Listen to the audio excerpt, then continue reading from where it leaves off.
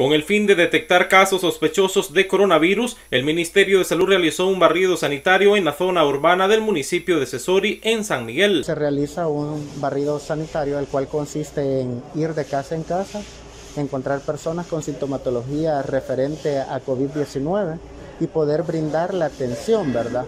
Y poder así darle a ellos el, el kit COVID-19, ¿verdad? Que es el medicamento y darle todos los lineamientos que deben de cumplir, el resguardo también impartirles una charla en el momento que uno hace la visita de casa en casa, de todas aquellas medidas que pueden ellos tener, el autocuidado.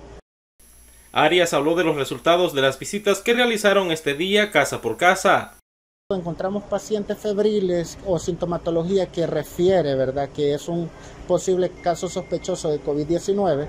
Se le imparte el kit ¿verdad? COVID-19 y todas las medidas necesarias. Al momento, en el barrio que se realizó en el casco urbanizado, encontramos nada más un caso sospechoso de COVID-19.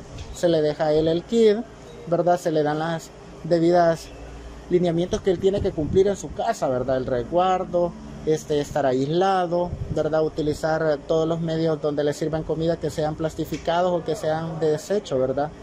Y que ellos puedan tener ese autocuidado para los familiares. Este año la Unidad Comunitaria de Salud Familiar de Cesori sigue registrando casos sospechosos de coronavirus. Los casos sospechosos siempre se están dando, eso no los hemos pues erradicado, ¿verdad? Siempre están asistiendo a las diferentes unidades que pertenecen al municipio de Cesori y por lo tanto darle un número en sí sí sería factible, pero no por el momento no puedo extenderle cuántos casos vemos diario o cómo se está haciendo, pero sí se reciben casos en las unidades de salud con personas que aún presentan esta sintomatología.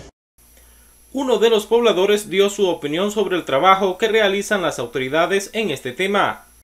Está bien que, ver por el pueblo, porque en vez hay necesidad, en vez de para visitar la unidad a algunas personas le hace más difícil.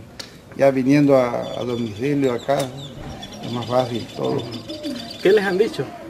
No, pues preguntando cómo estamos de salud, si tenemos fiebre, gripes, todo eso. Invitar a la población a guardar las medidas porque esta enfermedad es un poco complicada, más a las personas que tienen sus enfermedades terminales.